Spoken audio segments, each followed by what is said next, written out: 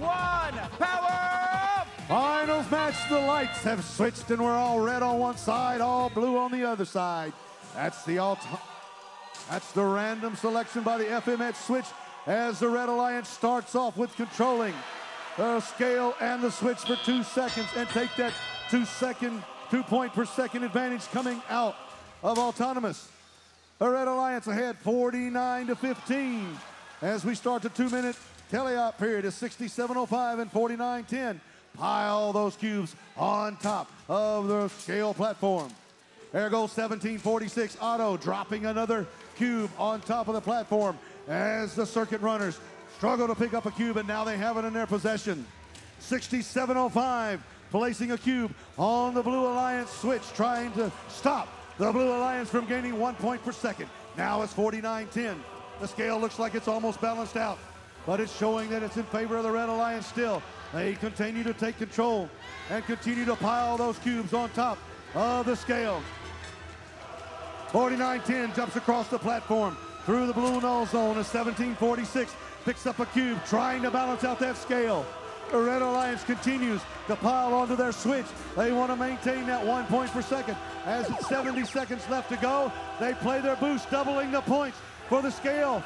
Two points per second now for 10 seconds with that boost. 222 to 51 in favor of the Red Alliance as the Blue Alliance time clock has stopped ticking as the switch and the scale is in the favor of the Red Alliance.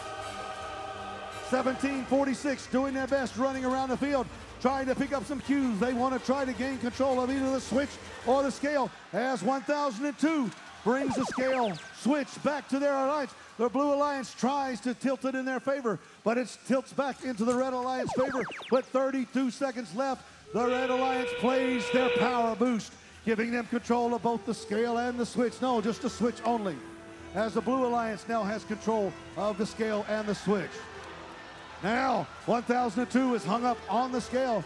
That could be a problem for the scoring right there if they can't get loose right there. 360 to 85 now with 10 seconds left to go in favor of the Red Alliance.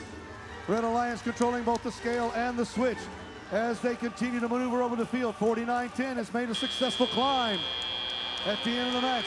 418 to 111 is what we're showing for final match number one. Woo! We're going to play the arcade game one more time on the screen here in just a second to see what the final is. It's not official what I tell you until it shows up on the screen. And we're waiting for the results. Waiting for the refs to review the match. They're discussing it. amongst themselves, trying to figure out what happened in that match, if anything. We saw a lot of action there for the Red Alliance and the Blue Alliance. The Red Alliance had six cubes in their power vault. Those cubes worth five points apiece.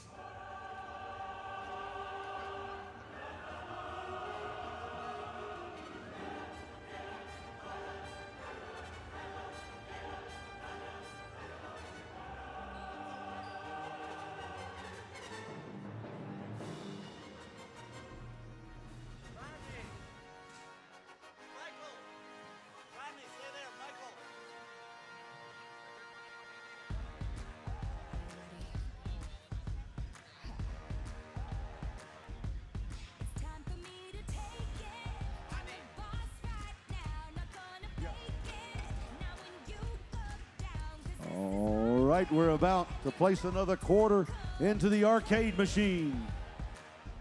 To find out what the score was, here we go. A battle on the screen takes place. The Red Alliance takes match number one. Right now, we're going to have a six minute field timeout, followed by a two minute team timeout as the